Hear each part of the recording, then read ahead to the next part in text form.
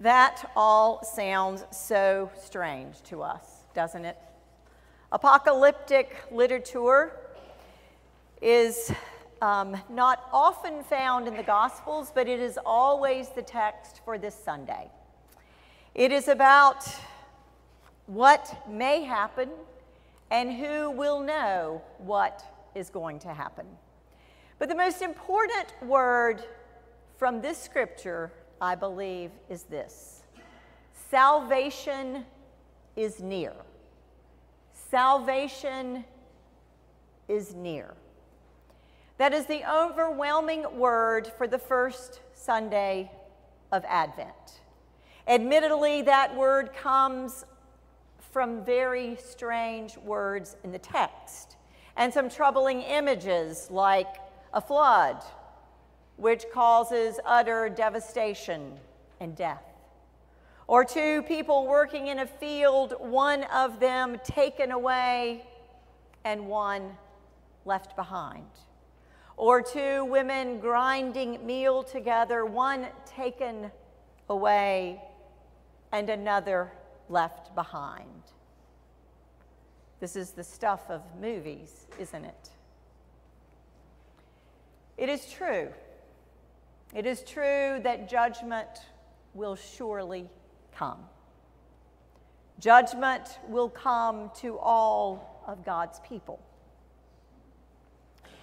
And the judge, the judge is the one who came to live and die for us.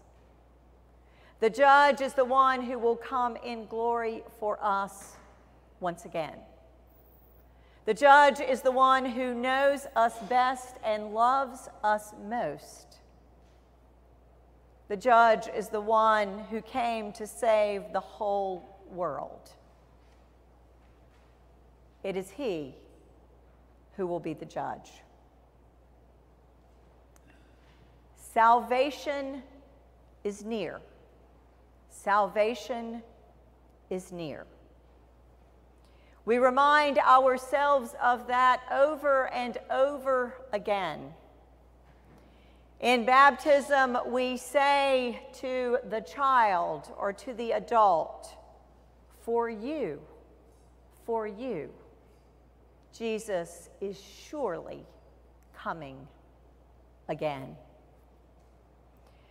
Whenever we use the Apostles' uh, Creed to affirm our faith, we say, I believe in Jesus Christ who will come to judge, who will come to judge the quick and the dead.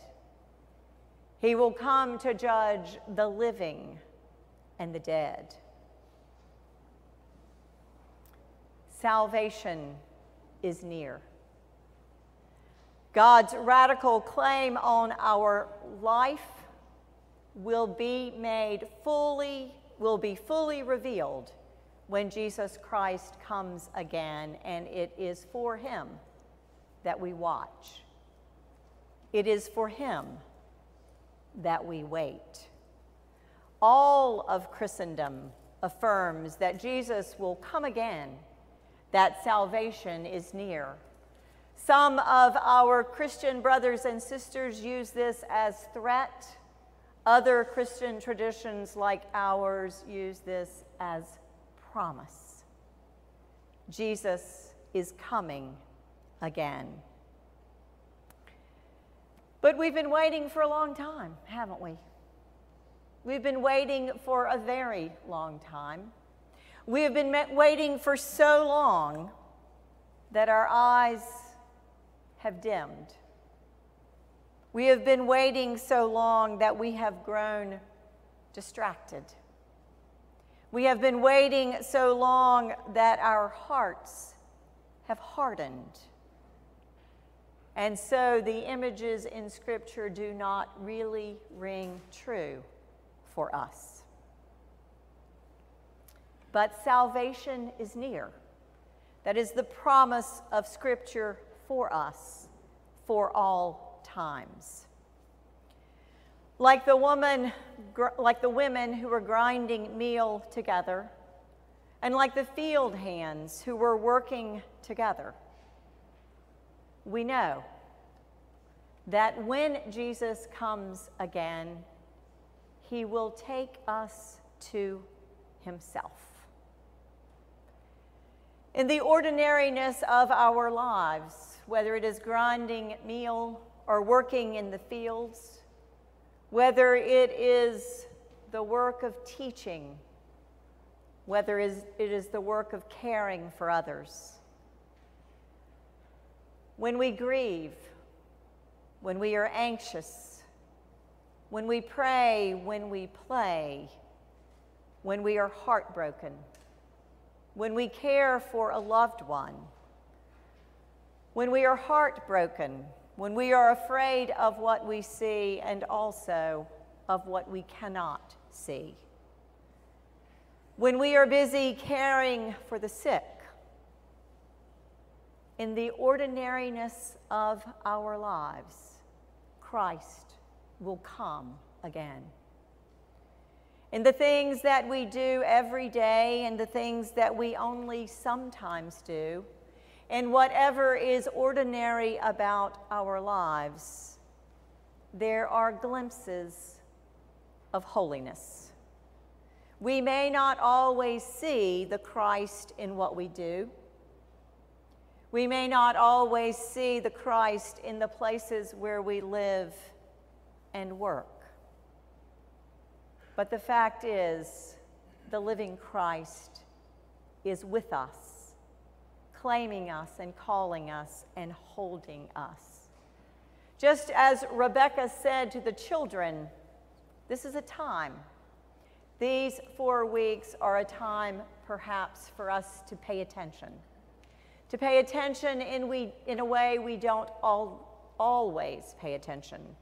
Perhaps it is a time for us to be more alert to the divine in our midst. Perhaps it is a time for us truly to look and to see what God has done for us. It is true that we often see that for which we are looking, and we do not see what we are not looking for. So, my challenge for all of us in these four Advent weeks is for us to keep our eyes open, to spend these weeks looking for the holy. Spend these four weeks looking for the holy, looking for the divine presence wherever we are, whatever we are doing. Perhaps we will see the divine light in the eyes of someone who struggles. Or maybe we will see the divine in the touch of a neighbor's hand. Perhaps we will see the divine working in our reading, in our praying, in our singing. But I urge you, in the midst of baking and wrapping and shopping and decorating and all the things that stand in front of us, I urge you to look for the divine. Perhaps when you are choosing your Christmas tree, you will recognize the divine in someone with you or someone you meet. Perhaps you will see the divine light in someone when you deliver a plate of cookies.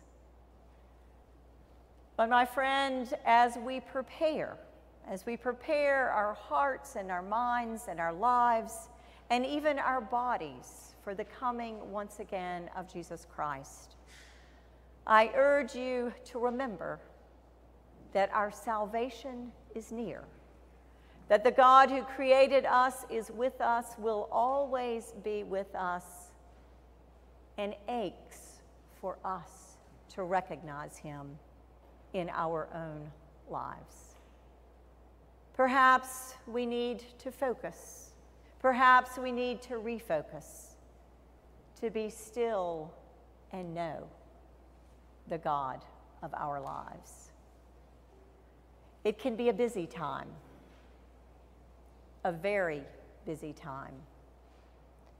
But will you also use the Advent season to pay careful attention to what God is doing in your midst? Amen.